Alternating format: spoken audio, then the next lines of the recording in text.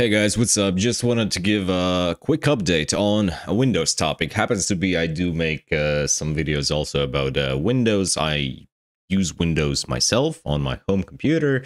Not a big fan, still a user, and that's the reason why like sometimes uh, on my YouTube home tab uh, some stuff about a Windows appears.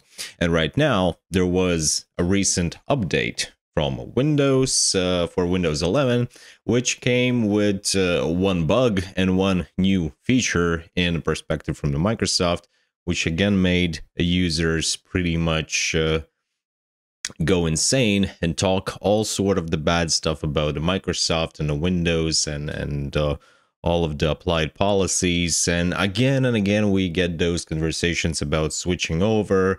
Uh, somehow, I don't know why, but whenever we talk about moving away from the Windows, nobody really, at least I don't hear any conversations on moving to Mac, Mac OS. Uh, I personally love it.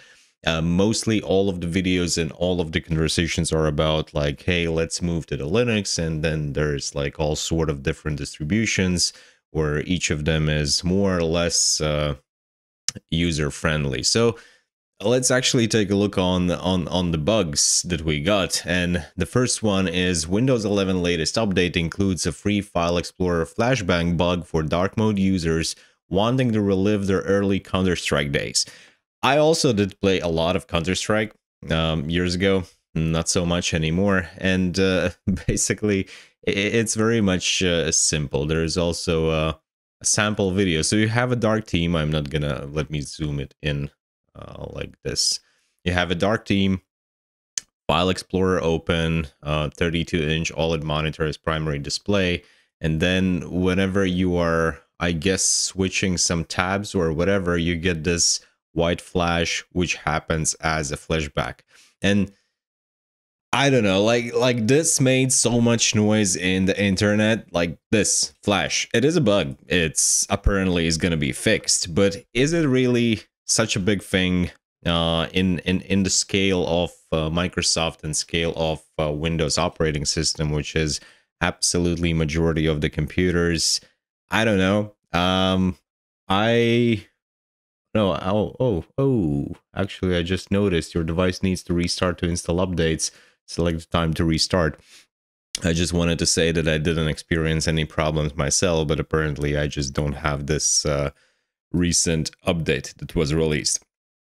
And the second thing, that's more like, I agree, uh, Microsoft is turning Windows 11 Notepad into AI toy with the streaming where you watch AI text type itself. And there are multiple examples like classic Notepad, and then you have this and uh, different options of uh, insert and generate some text. There were also options like customize or rewrite, uh, make a paragraph or academic or marketing or poetry or business.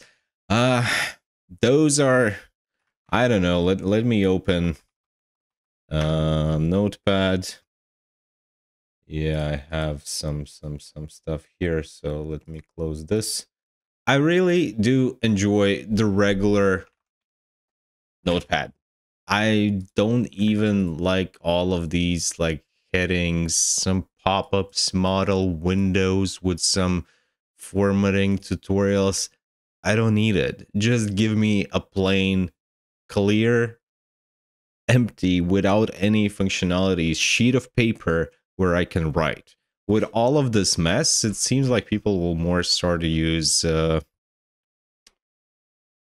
this stuff again to make some notes. This one is dirty. Um, yeah, like I don't know. The AI thing is is a thing. Uh, Windows 11, Windows 12 is gonna be much much worse. Copilot being like injected in all of the things that uh, that you use in Windows. Soon, I strongly believe there will not be any simple exit out of this case and that's that's the main reason why people are more and more talking about moving to the linux i personally I have a I use WSL on Alma Linux just for my uh, tests wherever I need all sort of the Linux. But if we talk about the desktop and and using Linux on a desktop, I'm not so sure about it. Maybe my understanding about all of that stuff is outdated. I'm worried about two things: running mainly this application, Adobe Premiere Pro, I'm not sure if that works on Linux. I have, uh, um, I'm suspecting that not too well, if at all. And the second thing is games. I do play some games uh, sometimes, and I don't want to get in a situation whenever you open some game on a Linux and it just doesn't work. But as far as I've seen on the on the other YouTube videos and headlines, gaming is kind of a thing nowadays on the Linux as well. So let me know what you think uh, about all of this stuff. Have you noticed some bugs on on Windows, Windows 11, latest updates? Does that really bother you? Do you plan to switch uh, operating system? Maybe already did. So just let me know in the comments. Thank you for for watching. See you guys later. Bye bye.